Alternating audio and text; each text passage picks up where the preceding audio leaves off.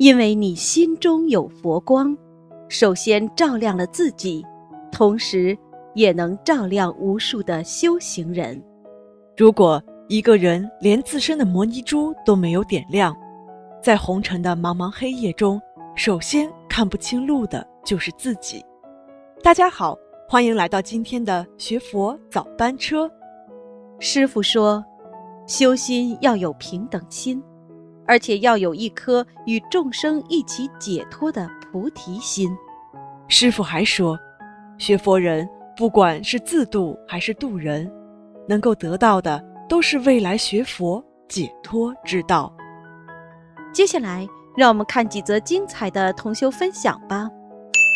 这位同修分享到，在这几天的助念中，看似我们在为师傅助念，实则是恩师给了我们供养佛法僧的机会，念经供养。这几天在为师傅的助念中，没有其他想法，就是想尊师嘱托。好好念经，不想其他。也因恩师的圆寂，弟子放下许多。清晨梦见恩师穿着黑色西装，站在莲花池旁，里面有很小的莲花，大概七八朵。师傅对我说：“这就是你的福。”紧接着，在十一月十三日早晨，梦见自己在吃面。分享以上梦境。只为了告诉师兄们，好好念经，好好修，才是对恩师最好的报答。梦境仅自己的分享，师兄们看看就好。感恩师兄的分享。这位同修分享到：我昨晚梦见师傅在天上给真修实修的师兄加持，还有一艘很大很大的法船。师傅给我了一张船票，很感动。师傅无时无刻不在关照着我们，我们一定好好真修实修，严守戒律，不给师傅丢脸，做师傅的好弟子。感恩何时？感恩同修的分享。这位同修分享到：今天为师傅一百零八遍心经念好，感觉一下子想通很多，心中的烦恼烟消云散，一定又得到师傅的反加持了。感恩慈悲的师傅，感恩师兄的分享。这位同修分享到，在此我想跟师兄们分享关于在过去的三天内，我为师傅念诵了观世音菩萨圣号和礼佛大忏悔文。我第四天就梦到买新衣服了，宵夜了。所以其实我们为师傅念经，反而是我们得到更多的反加持。师傅是在帮我们宵夜，都是在为我们好。分享结束，如果有不如理、不如法之处，请大慈大悲观世音菩萨慈悲原谅。同修自己的业障自己背，不让师傅背，不让师兄们背。接下来，让我们一起来听师傅讲一个小故事吧。如果一个生活中没有信念的人，他就犹如一个掉进海里的水手，会在浩瀚的大海里沉没，直至灭亡。台长告诉大家，洛杉矶发生的一件真实的事情：在一九八九年，美国洛杉矶大地震，不到四分钟的时间。三十万人受到了伤害。一个年轻的父亲安顿好自己受伤的妻子，他就冲向了自己七岁的儿子上学的学校。等他过去一看，那个昔日充满着欢声笑语的三层楼的学校，已经变成了一片废墟。他顿时感到眼前一片漆黑，大叫：“阿曼达，我的孩子啊！”哭的就跪下来了，在地上大哭之后，他突然之间想起经常对儿子说的一句话，就是无论发生什么，父亲总会跟你在一起的。他挺起身向那片废墟走去，他就用手在搬开石头，用手在挖。这个时候，不断有很多的父母亲走过来大哭：“我的儿子啊，我的女儿啊！”哭过之后，都绝望的离开了。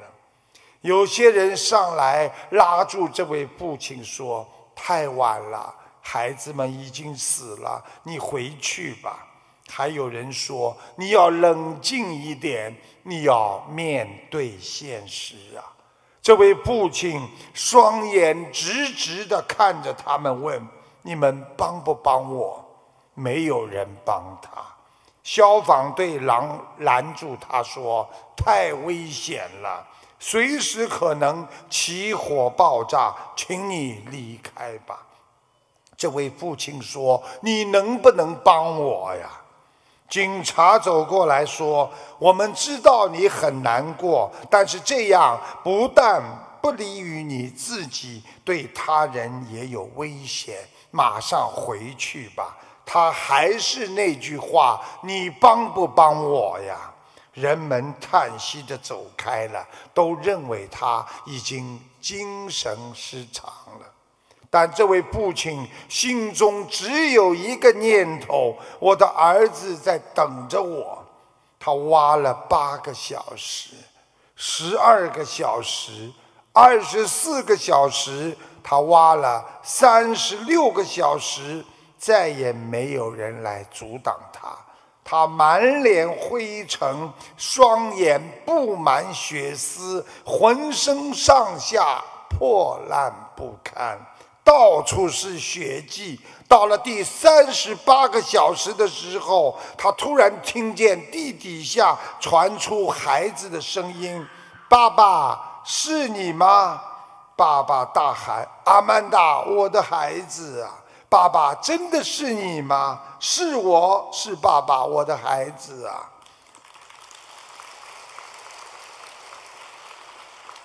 儿子在地下说：“我告诉我的同学们，不要害怕，只要我爸爸活着，就一定会来救我们。因为爸爸说过，无论发生什么，你总会和我们在一起。”父亲接着问：“孩子啊，你们下面有几个孩子活着？”